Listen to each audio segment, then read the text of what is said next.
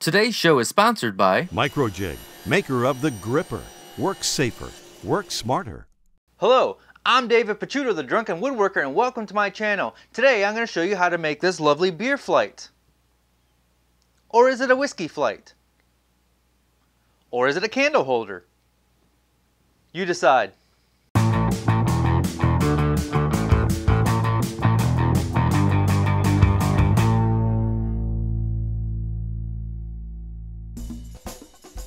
I'm making two identical beer flights out of one piece of half inch red oak. First thing I'll do is rip my boards to width.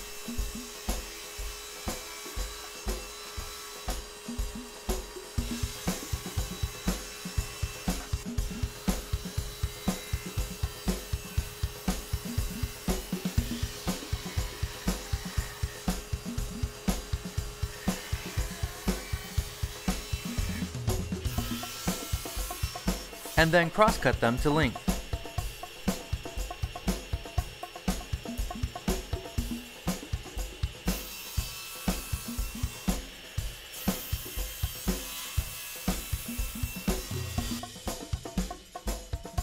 I'll now set my blade to 45 degrees and cut the bevels on the bottom piece. I'll take a couple passes and sneak up on that first bevel.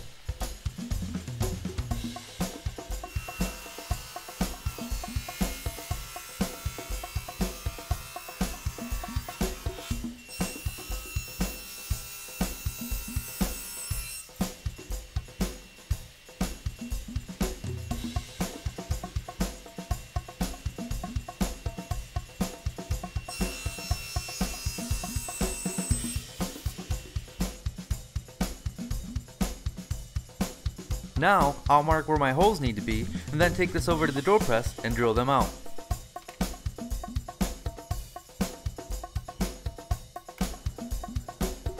This requires a large Forstner bit. If you're batching these out, I suggest letting the bit cool every once in a while.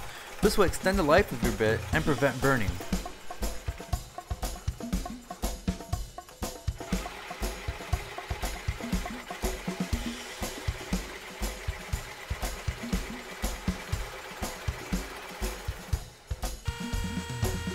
Now, I'll write a profile on the ends using a cove bit mounted in my router table.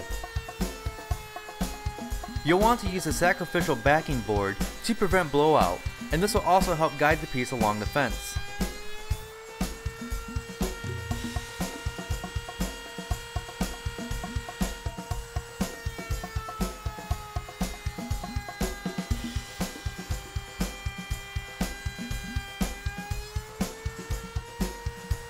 I'll now raise the bit slightly and make a second pass. This will leave a cleaner cut and not leave any burn marks.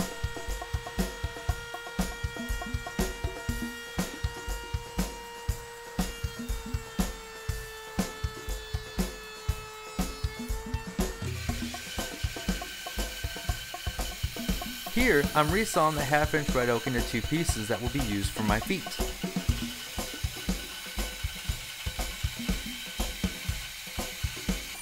Because the pieces that I'm using for my feet are so small, I will cut them out on the bandsaw as well.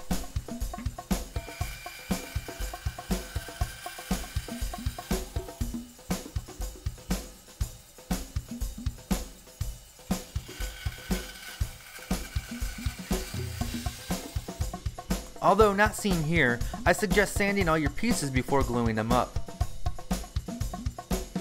And now it's just a matter of gluing the top to the base. I prefer using F-style clamps for this step.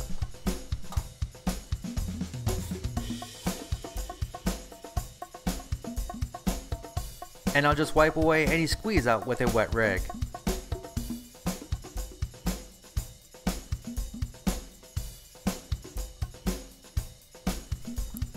After the glue has had time to set for a little bit, I'll then glue on my feet, making sure to glue long grain to long grain.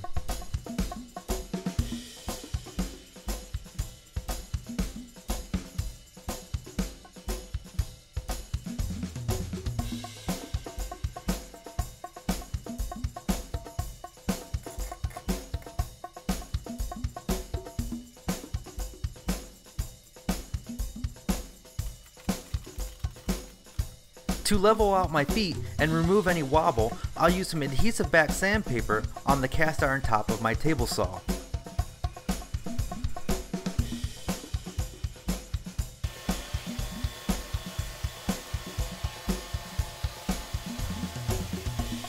And then some final sanding, a few coats of spray lacquer, and we're all done.